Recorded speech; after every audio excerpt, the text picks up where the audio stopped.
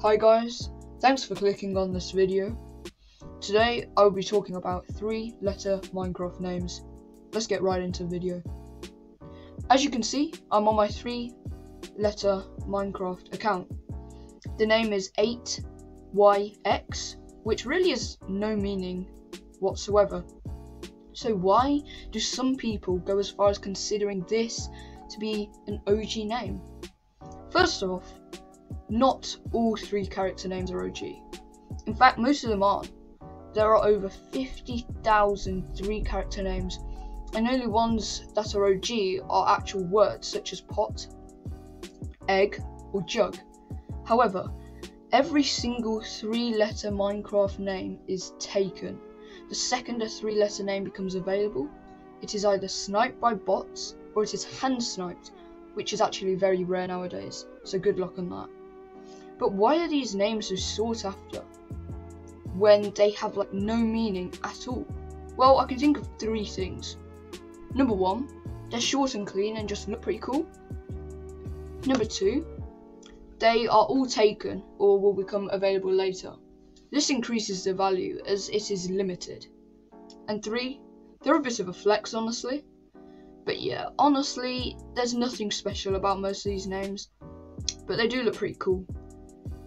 For me, three character names fall under their own category, which is just three letter names.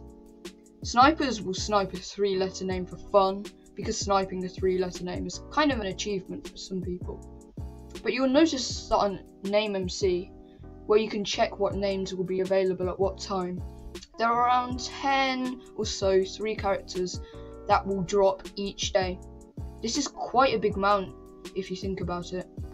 Essentially, around 10 people a day are changing their name from a three character to something else. It's probably because they didn't like the randomness of their name. In my opinion, they're really overrated. I asked some friends of mine that uh, used to be holding a three character name, and the most common response I got from them was I changed my name because it was random and meaningless, and I'd rather get a cool name that's non OG than a three character name. It's obvious that many people regret changing their name to a random three letter. Lastly, I'd like to mention that if the name has certain features such as having a vowel or all numbers, then the name can be worth more. Something like QEB, pronounced Keb, would be worth more than my IGN 8YX. But also be aware for scammers that try to sell you a three letter account for something like $75, especially if they are completely random. So yeah, just be aware of scammers.